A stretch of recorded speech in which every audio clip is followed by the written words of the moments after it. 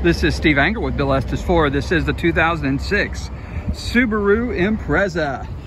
It is a manual transmission, heated seats, does have to, some aftermarket stuff on it, Pioneer stereo system, you can see the tach right there, a tuning system, also does have a sunroof. There's your second row, and of course, storage in the back.